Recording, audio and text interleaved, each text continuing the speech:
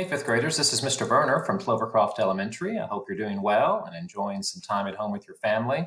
And maybe you're doing some math from time to time as well. Now, I know you're all really good at your multiplication facts, and that's great. Love hearing that.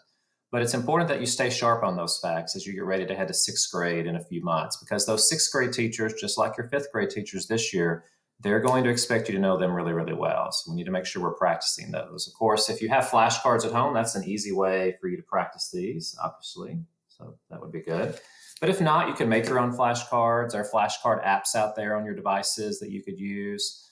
Um, but also, there's a number of ways to generate numbers that you could use to multiply, such as dice or playing cards or dominoes or even random number generator apps on your devices. So, any of those would work.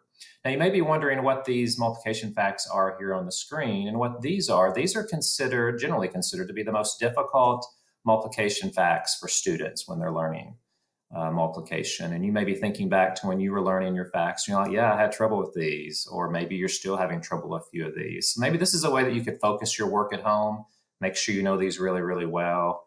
So you're fully prepared for, for middle school. And finally, maybe you should challenge an older brother or sister or a parent or a grandparent or another adult that's living there in the house to a multiplication competition. See if you could beat them. I think that'd be a lot of fun for your family. And you'd also be practicing math at the same time.